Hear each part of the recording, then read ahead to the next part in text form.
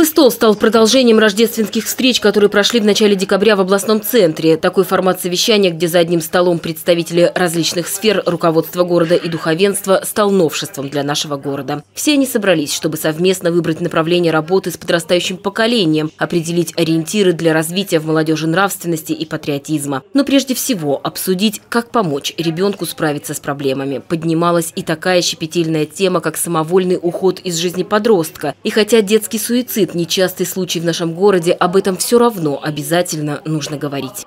Это профилактика в первую очередь. То есть мы должны работать на упреждение, не ждать, когда, когда случится беда, и потом начинать разбираться, искать, кто прав, кто виноват.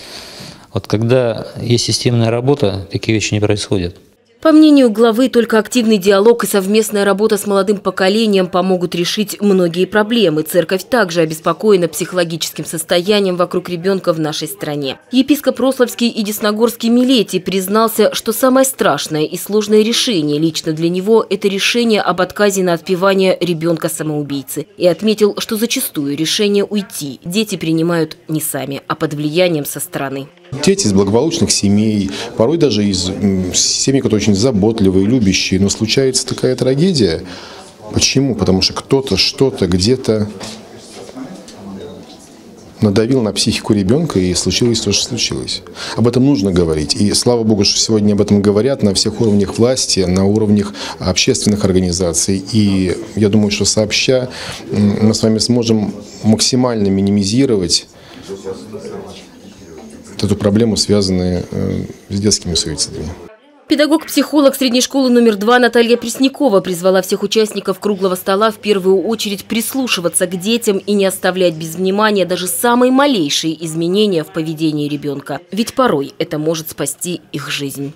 Когда ребенку плохо, и когда мы видим, что он делает какой-то крик, помощи зовет, пусть это жесты, пусть это разговор, пусть это крик какой-то, его нельзя оставлять одного.